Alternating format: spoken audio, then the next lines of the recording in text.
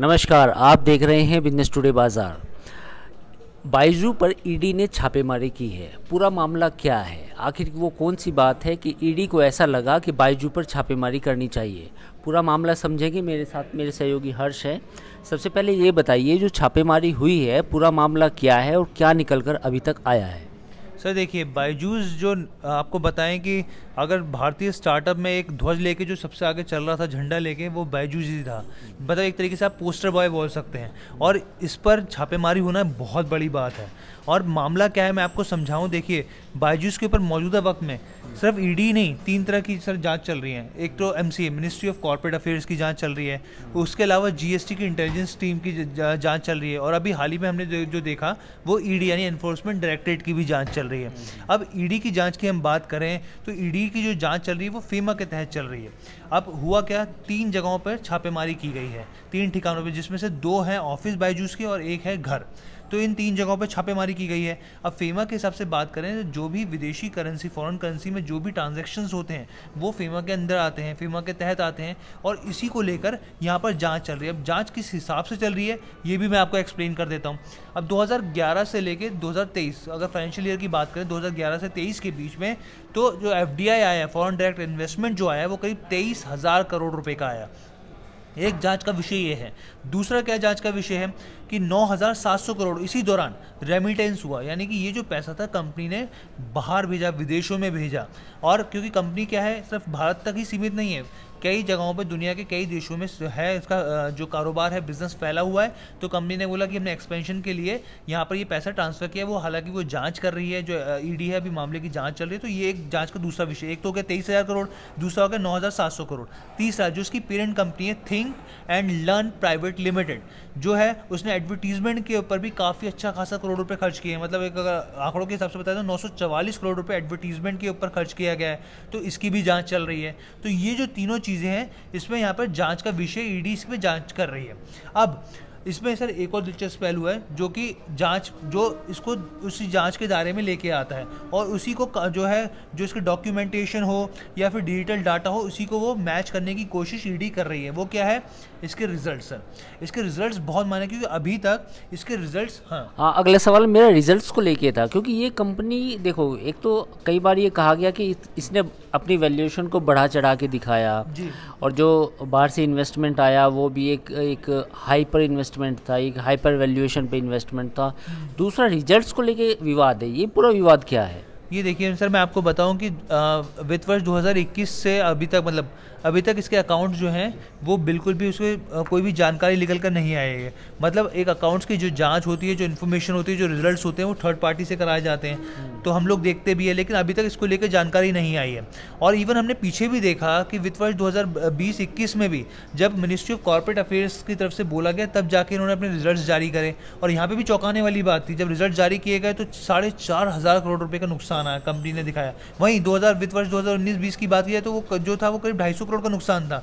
और अचानक से अगले साल ये साढ़े चार हज़ार करोड़। का नुकसान दिखाया। तो ये बहुत हैरानी वाली बात है। और अभी तक देखिए अभी तक अकाउंट जो है इसके ऑडिट नहीं हुए हैं। दो हज़ार वित्त वर्ष इक्कीस की बात की जाए अभी तक इसके ऑडिट नहीं हुए ये भी चौंकाती चीज़ें हैं। तो इसकी जो जाँच चल रही है। अब यहाँ पर कुछ जो सोर्सेज के हवाले से खबर है हम अब इसकी पुष्टि नहीं करते जो मीडिया रिपोर्ट्स हैं वो कर, कर रहे हैं कि ईडी की एक और वजह है कि उसने जो बायजूस जो रविंद्रम है जो इसके बेसिकली कंपनी के फाउंडर हैं। वो उनको कई बार समन भेजा गया ईडी के ज़रिए लेकिन एक बार भी वो पहुँचे नहीं। और यहाँ पे सर ये भी हम गलत होगा कि अगर हम बायजूस का वर्जन ना बताएँ तो बायजूस ने अपने वर्जन में साफ़ तौर पे कहा है कि भाई हम लोग जो हैं ये रूटीन जाँच है। हम ट्रांसपेरेंसी यानी पारदर्शिता बरत रहे हैं, हर एक चीज़ की जानकारी खुलकर दे रहे हैं और स्टैंडर्ड और एथिक्स का हमने नियमों का पालन किया है, जो और जो भी हम मदद जो भी ईडी हमसे मदद कहेगा, जो भी डॉक्यूमेंट्स कहेगा, हम अपने तरीके से पूरा पेश करेंगे।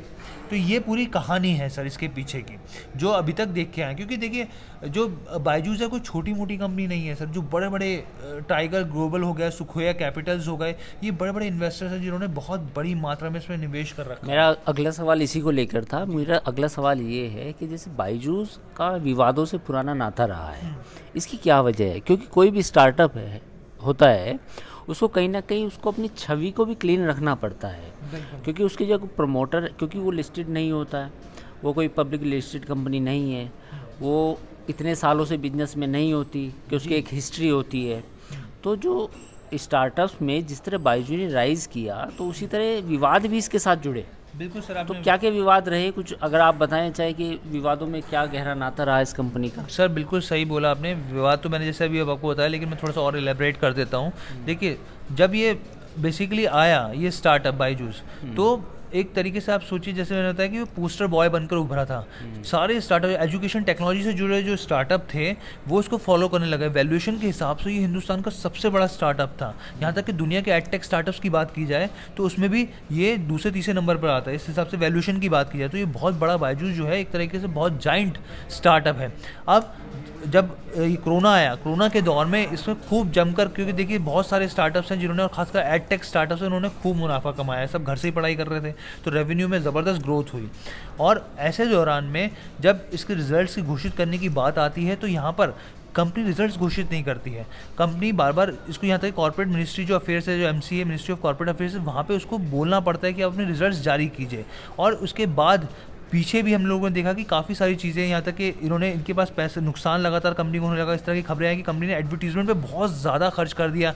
फिर जो आई पी एल मुझे मुझे हाँ मुझे वही सवाल था। स्पॉन्सरशिप को भी लेके विवाद हाँ, हुआ जब कहा कि भैया आप इतने घाटे में हो और आप हाँ, इतना बड़ा खर्चा इवेंट्स की स्पॉन्सरशिप पे कर रहे हो। हाँ फिर वापस हाथ खींचने पड़े इस तरह की खबरें निकल कर आई। तो क्योंकि आपको प्रॉफिट हो नहीं रहा था देखिए जो कोरोना के बाद से जो भी था जितने भी एटेक स्टार्टअप थे सब नुकसान में चले गए। और मौजूदा वक्त की मैं स्थिति बताऊँ आपको, ये और ज़्यादा परेशानी में है क्योंकि लोन जो है, वो महँगा हो गया है। अब भाई जो निवेशक होते हैं, जो बेसिकली आपको बोले जो जो स्टार्टअप्स में निवेश करते हैं वेंचर कैपिटलिस्ट जिसको बोला जाता है, चाहे वो बड़े बड़े हों, चाहे वो छोटे छोटे हों बेसिकली लोन उठाते हैं वो सस्ते दरों पर और इसमें निवेश करते हैं, फिर मुनाफा कमाते हैं।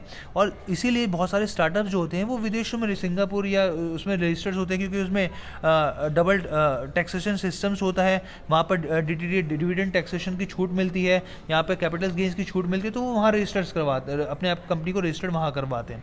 तो इस लिहाज से कंपनी ने काफ़ी तरीके से फ़ायदा उठाया। वही जो है, यहाँ पे ईडी और जो दूसरे जो है डिपार्टमेंट जो, जैसे मैंने आपको बताया कि कि जीएसटी की जो इंटेलिजेंस यूनिट है, वो भी जाँच कर रही है। बिल्कुल बिल्कुल। जैसा हर्ष ने बताया कि ये पूरा मामला बेसिकली कहीं ना कहीं बाईजू के जो फाउंडर थे, उनको नोटिस दिए गए।